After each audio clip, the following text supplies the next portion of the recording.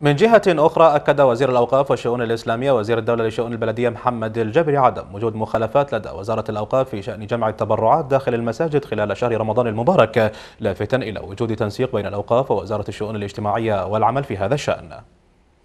ما عندنا شيء مخالف القانون إذا في أشياء طبعا في ترتيب بيننا وبين وزارة الشؤون على هذا الأمر وإذا في شيء يخالف القانون أكيد ما راح نقبل فيه. عرصنا بهذه النقطة آه، آه، خل طلعنا تعميم أيضا يخص هذا الشأن فكل الإجراءات اللي فيها أخطاء أو اللي تخالف القانون هذه لن نسمح فيها.